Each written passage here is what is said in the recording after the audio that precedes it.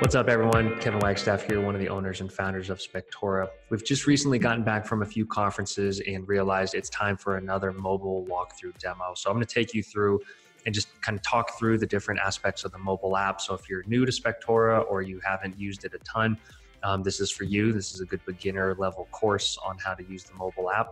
Um, we're assuming you've already logged into the desktop version of Spectora and scheduled an inspection.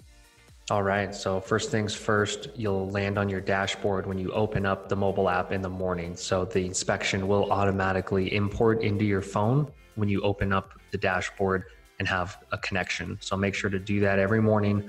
Uh, wake up, just at least open up the app and hit the dashboard so this inspection will be there. And you'll notice that the little arrow will be there if the inspection has imported. All right, so I'm tapping into the inspection. Now this is the inspection details screen, as we call it. So this will show you all the basic information about the inspection, the client, the agent, hopefully the bed, bath, square footage. And then I'm tapping on residential report to get into the inspection. So now we're at the section level. So this is the highest level of the template or report. If you're familiar with the desktop version, when you're looking at the template, this is the far left column when you're looking at the sections. So the first thing to note is that you can tap on update report cover photo here at the top, and that'll either ask you to take a photo or add it from the library. This is just a cover photo of the report. Typically you wanna get a nice picture of the home um, out front. All right, now we're gonna tap into inspection details and just answer some of the general items and informational comments that are in there. So in attendance, I'm just tapping off some of these answers here and I'm getting the green check mark as you can tell as I'm going through. Um, this is a number informational comment where you actually have to put in a temperature. You can choose to get rid of this or not have it if you'd like, um, but there must be a number in there to mark it as complete. Type of building, we'll just answer some of these as we go through. We're entering a value here, that's just a test comment and then any limitations. So, so it's worth noting that limitations is a different type of comment than your informational comment. The limitations will show in the limitations tab on the final report, whereas the information will show on the informational tab on the report. So you'll notice with any informational comment, you can always tap on the flag. What this does is this flags it in the report so you can review it later. This doesn't show to the client. When you save it to the cloud and view this on desktop, you'll see this flag. A lot of new inspectors just use this to research later or to ask someone else about it. The location button, we'll get to this later. It's more applicable for defects. You have the copy button. This will just copy that particular comment, duplicate it basically. Then you have delete and then the photo button. You'll see the, you'll see these set of buttons on every comment. So you can take a photo of any given comment. So you'll see I tapped on photo and I'm going to use that photo. And you'll see at the top right there, it's designated by there's three photos within this comment. You can always tap into any given comment by tapping on the arrow. And this takes me into that informational comment where I can type in more for context. I can save this as my default to the template um, that's a big concept to understand is that you can save comments to your template while you're in the field writing your report. One of the biggest advantages of Spectora's platform, it allows you to build your template and refine it as you're going and as you're doing reports. You can flag it within the comment and then you can go in and annotate pictures by tapping on the picture. And now I'm sliding my thumb from the bottom left to the top right just to add a arrow there. Um, one quick hack, if you swipe from the left to the right, you can go back a page. That's something uh, most users don't know about. So now that we've finished our general section and inspection details, you see that we get the green check mark there, but there's also an orange flag. So that tells us there's something we flagged in there. Make sure to follow that down before you publish your report if it's something you made you wanted to make sure you got back to. So on the section level or item level, you can always swipe from the right to the left to reveal the duplicate or delete buttons. This is a big feature, save you time. If something just doesn't apply, swipe right to left and delete it. So now we're gonna go into a section with lots of items within it. So we're gonna go into basement, foundation, crawl space, and you'll notice there's multiple items within this section. So from this level, you can mark inspected if there's nothing wrong or nothing to note And you can also mark off observation or defect from this level as well, but you'll always want to tap into that item by clicking on the arrow to go in and actually see your informational comments that are within that item. So now we have inspection method. I'm going to tap that off. We'll, we'll say there's a limitation there and then no observations to note. And that's just a general item. So sometimes inspectors will put um, kind of CYA photos in there, um, just general info, not necessarily a defect. So now we'll go into foundation and select defects. And we'll go down and actually select a defect. So we'll say minor cracks. And I'm tapping on this first button here to notate which level of severity you want to assign to this defect. So you can you can select this and uh, customize this in your template settings. And this defines which category it shows up in on the final report. So we said this is a minor crack. So we'll say it is a just a medium issue recommendation, and then we're going to tap the photo button.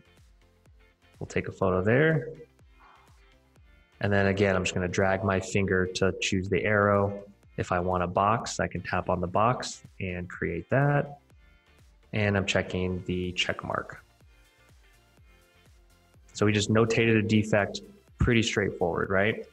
So now you wanna say the location. So now we're using the location button here, and this pulls up a set of locations that you can define in your settings.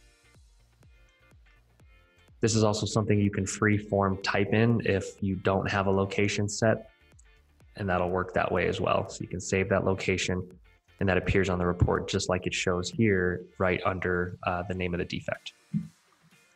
If you took a bunch of pictures on your phone and want to pull those into this defect, you can always click on the gallery button here and that'll pull up your gallery.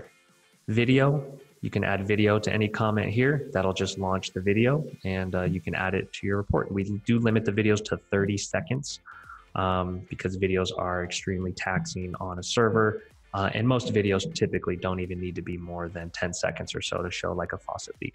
One new powerful feature is global search. So I'm gonna show you guys how that works. At the top right, you see a little magnifying glass there that I just tapped on. So when you're within any section or item, you can choose to only search within that section or item like I have here. You can see at the top, it says search only in this basement section. So now I'm gonna type in the word crack and you'll notice it pulls up my defects that have crack in there. There is a mobile option setting to where you can choose to only search within the title or within the comment or both. Um, so I'll just select that there and you can also take the photo from this view. We'll annotate that. And then you can click back to get out of the search function. So some inspectors are doing a good part of their reports just by using the global search. Um, so if you're walking around, you see a defect, you can just go ahead and notate that by using search instead of navigating to it. Very helpful feature. Another quick tip for the mobile app, if you click on the dot, dot, dot at the top right, you can reorder items, you can edit the section name, or you can mark that section to save to your template. So if you've made changes that you want to save to your template, you can click on that. You'll also notice at the very bottom, there is a progress meter bar, and that will be dictated by how many items, how many comments are within your template. So as you go through and touch each comment and item and section, that'll bump up and hopefully get you up to 800. So if you're just testing out Spectora and you made a few changes to your first report on mobile, you want to go back up to the inspection details page and click on save. So this saves it to the cloud.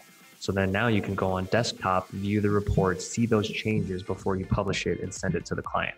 The sync button here to the right is for when you make changes on the desktop version.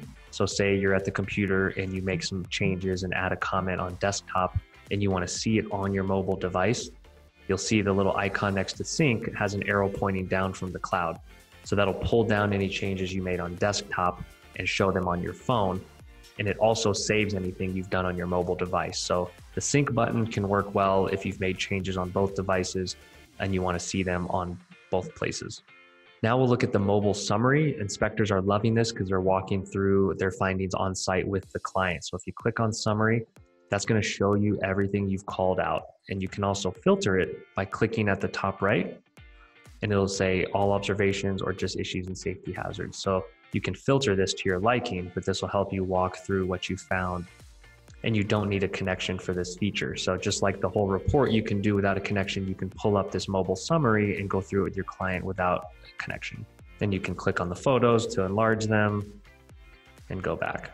Another feature that's in your mobile settings is the CYA camera. So if there's pictures you want to take and you only want them to save to the folder on your phone for this inspection, you'll see at the bottom right, there's a little camera icon and that just lets you go around and snap photos that go into the folder for the inspection, but they don't go into the report. So that's something you can enable in settings. And again, that's at the bottom right there. And you can also enable a flashlight from the app as well. So if you come across something that you don't have in your template, whether that's a section, an item, or comment, I'm going to show you how to add that now. So in the new section, if you go down to the bottom and click on plus section, it's going to show you your optional sections, and those will be notated by being gray in your template. And then you can also add any default sections back if you delete them, or you can just add a new blank section here at the bottom. So the same goes for items. So if you go into any given section, so we're in electrical. If you go down to the bottom and click plus item, you can add any of your already, you can add any items that are already part of your template, and you can also add a blank item. So now let's go into branch wiring circuits. I can click on new here for information. So I can add a new informational comment, or I can go down to defects or observations and click on new there. And keep in mind, you can customize this word observations here. That's part of the template settings and customizations you can make.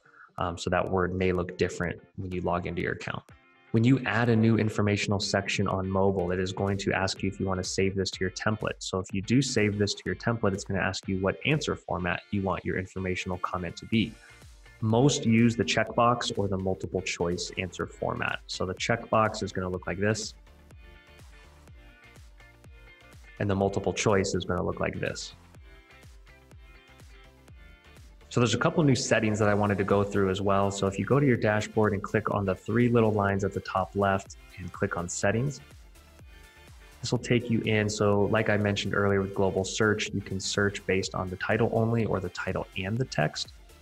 And then in terms of live syncing, so you can save on the fly as you're doing your inspection and it can do it automatically. You can select the sync frequency that you want every 15 seconds all the way up to every 15 minutes or you can just do it on demand which means you need to actually press the save or sync buttons on your dashboard. So that's really important to know. Um, some say it can drain your battery if you try to save every 15 seconds um, i like something more like five minutes or 15 minutes or on demand photo settings you want to make sure you're backing photos up to your gallery so you always have those photos in a folder for backup purposes.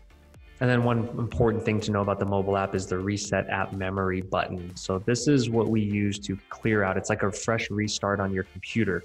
You must make sure that you save every inspection that is in progress before you press this button. So if you press the button, you're going to get a warning that you're confirming that you understand your data will be lost if it's not saved. So if you if you hit save or sync on all of your inspections, you're okay to do this. And we have this button because it clears out the memory of the app because this app does a, it's very intensive and it sends a lot of data back and forth. And it can get sluggish at times if you have a low performing device with low memory. So just make sure that this is a kind of a fresh restart or a flush out if you have a bunch of inspections that are backed up um, on your device.